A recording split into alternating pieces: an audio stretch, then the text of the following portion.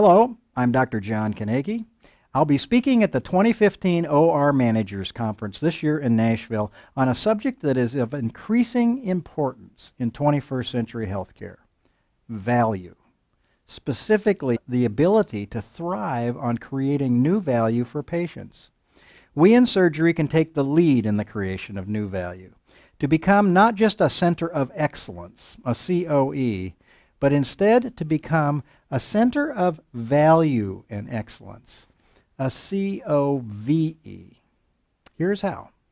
You and I share a common commitment designing a professionally safe surgical environment, enabling and empowering our physicians and staff to really make a difference for patients. But in my experience as a surgeon, as a health system executive, a Harvard researcher, a leadership mentor and advisor, and most importantly, as a patient, I've learned that the system doesn't always help us get patients exactly what they need, and at times it can clearly get in the way. And that's not value. During my presentation, I'll propose that value can be defined very simply as more access to more and better patient centered care at continually lower cost. Centers of excellence have been around for a long time, and they're good at getting stitches in the right place, but they don't necessarily create this kind of new value. At the conference, I'll show you how your facility, even small facilities, can go beyond excellence and use adaptive design to become a center of value and excellence. Adaptive design is a system that makes everyone accountable for patient-centered innovation as part of their everyday work.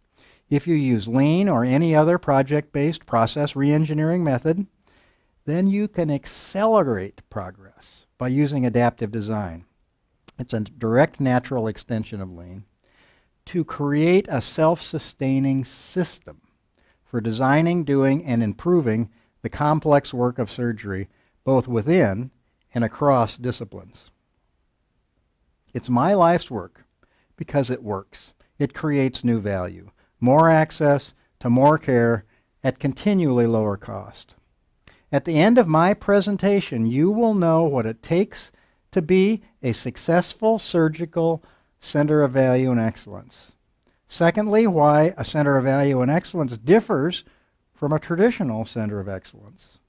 And third, how your surgical unit can make the transition. My award winning book, Designed to Adapt Leading Healthcare in Challenging Times, is the guidebook to more access to more care at lower cost.